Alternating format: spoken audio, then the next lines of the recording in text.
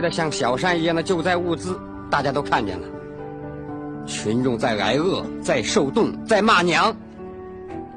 可国家调运来的大批救灾物资，积压在车站上已经整整八天了，风吹雪打，无人问津。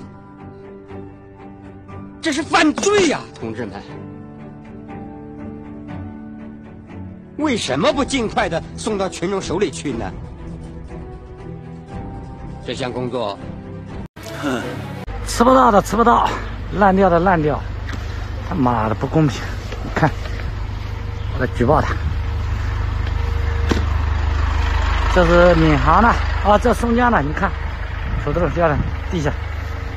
你看看，看看上海说没菜吃，我们冒着风险给他送菜来，肉都割臭了都没人收货，新鲜的货没人要，这么多菜没人收货。你看看我们搁这来，哼，风险给上海他们这边送救援物资。到了这里也没人收货，也没人管，我们也没有饭吃。看看这么多车来给上海送救援物资，来这也没人收货。你们能够在抗击疫情期间生活在中国你们就偷着乐吧。